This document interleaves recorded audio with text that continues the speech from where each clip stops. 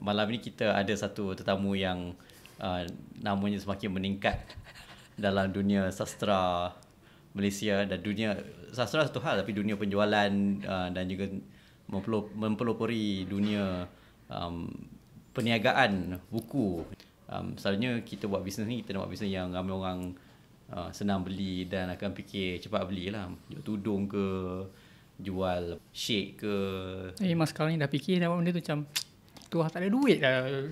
uh, itu, itu, itu yang kita nak tahu. Jadi kita, kita macam dalam uh, buat bisnes ni dan memang kita sedia maklum dalam dunia sekarang ni um, print is dying if not dead or online support tapi anda masih lagi memilih untuk me, menerobos masuk ke dalam ruang ini bagaimana pengalamannya menjalankan sebuah perniagaan yang ber, berkisahkan penjualan buku. Dia dia tak seseksi yang dipotret oleh banyak filem-filem ataupun cerita-cerita orang kan. Oh dari kedai buku bestnya. Dia bukan macam Notting Hill lah bukan. Ada lah sikit tapi mostly banyak benda adalah benda yang mundane, benda yang yang rutin lah. Um, you masuk kedai, you kemas kedai, you tengok inventory, you tengok apa yang kurang. Lepas tu, um, kalau bagi aku, aku rasa benda yang paling best dalam kedai buku ialah bila ada orang datang dan nak beli buku dan kita akan bercakap dengan orang, bersembang hmm. dengan orang. Itu tu menarik lah sebab macam-macam orang yang datang kan. Dan kita pun tak boleh nak dia tak ada satu formula yang orang apa yang datang. Jadi kadang-kadang you will be surprised yang you meet a lot of like different people which is interesting. Tapi itulah ada the, not interesting part tu ada lah. You akan jumpa orang yang annoying, you akan jumpa orang yang skeptical, biasalah tu. Jadi um, dan lagi satu adalah proses uh, mencari judul-judul baru. Um, sebab satu yang saya rasa penting untuk kedai buku independen ni adalah dia ni bagi aku kedai buku independen ni dia ada role yang saling melengkapi dengan satu lagi institusi itu institusi library. Mm-hmm. So dia dia orang ni yang akan sift through um, sebab um, dia orang ni yang nak bawa title-title yang dia orang rasa perlu dibawa ataupun rasa perlu diberi suara ataupun rasa perlu diketengahkan sebab kalau nak ikutkan kalau kedai buku-buku chain ni dia akan pergi kepada title yang di, yang boleh yang boleh jual lah. Mm-hmm dan kebanyakan title-title yang bagus ni akan duduk di rak-rak yang sunyi kan. Hmm. Jadi um, tugas kedai buku independen ni cuba untuk push title-title ni walaupun kadang-kadang susah nak jual hmm. uh, tapi itu itu demi antara tugas dia lah dan bagi aku itu yang seronok kita try untuk uh, memperkenalkan judul-judul ni sebab kita rasa kita seronok baca benda tu dan kita rasa benda tu penting. Jadi bila ada orang yang terjumpa buku tu dan baca dan rasa buku tu best, dia ada some sort of like um, feeling yang best lah. Macam oh punya ada orang yang suka buku yang apa yang aku suka baca. Jadi maksudnya untuk menjadi seorang penjual buku independen ni, hmm. anda mesti suka menjual buku yang susah dijual? tak juga. anda mesti suka baca je lah, tu je. Uh, sebab kadang-kadang, yelah. Anda bukannya menjual. menjual pun kena jugalah.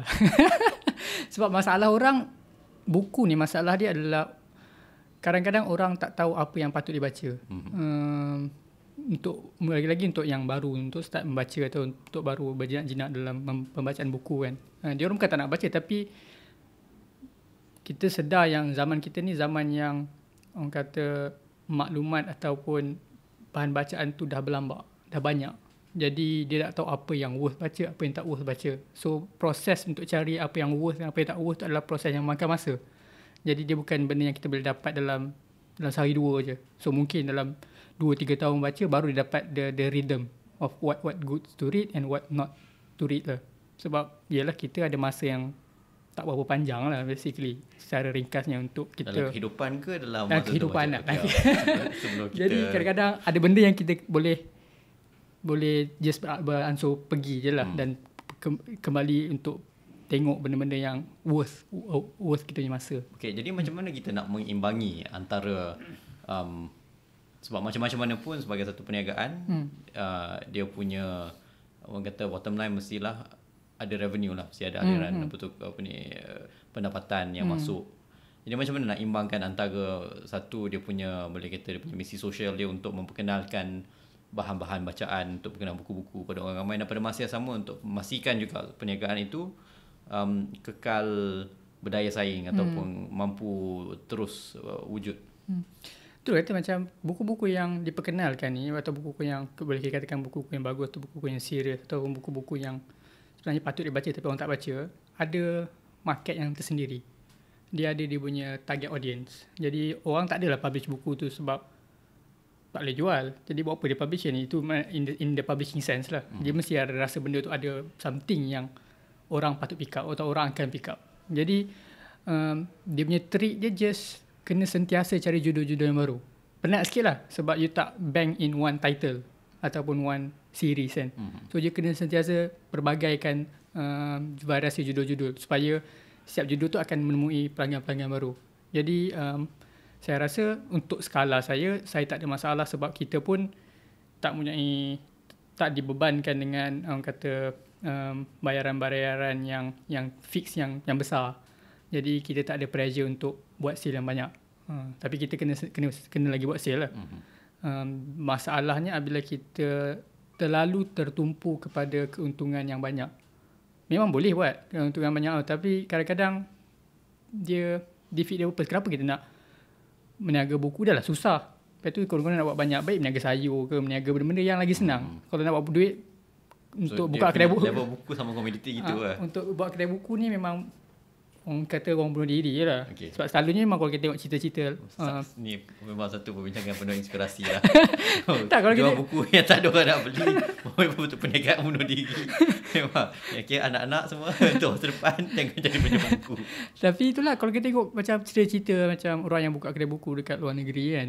Kebanyakannya benda ni memang adalah benda yang side. Benda yang hobi. Dia orang ada banyak duit. Dia kata, eh bosan lah. Banyak duit ni. Buat apa? Buka lah kedai buku kan. Kadang-kadang family ni duit dan sebagainya. Tapi saya ada dapat that, that, that, that, that kind of um, tak adalah teguran tapi impression lah. Dia kata, oh ni hobi eh. Saya, saya macam rasa rasa agak insulted lah. Macam hobi. baik kalau kalau hobi baik buat benda yang lagi best kan. Tapi hmm. benda ni saya rasa memang dia ada dia punya potensi dan lagi-lagi di Malaysia ni kita tak banyak uh, kedai buku independen yang yang berfokus lah. Jadi um, daripada situ saya rasa ia memberi kita ruang untuk manuver. Jadi kita ada ruang untuk memperkenal kita diberi ruang masa untuk memperkenalkan judul-judul baru sebab tak ada persaingan yang sengit. Mungkin sekarang ni dah banyak sikit lah. Hmm. Dah banyak orang mula menjual buku online dan mungkin fizikal lah di, di event-event. Jadi secara amnya kalau di Tinta Budi ni um, dalam masa sebulan lah contohnya. Berapa hmm. banyak judul-judul baru yang diperkenalkan ataupun dia macam dia punya kira dia punya rolling tu macam mana? Judul baru tak banyak. Dalam kalau sebulan tu ikut kerajinan. Kalau masa tu bulan tu rajin banyaklah judul-judul baru. Kalau masa tu tak rajin adalah 2 3 4 oh. ha.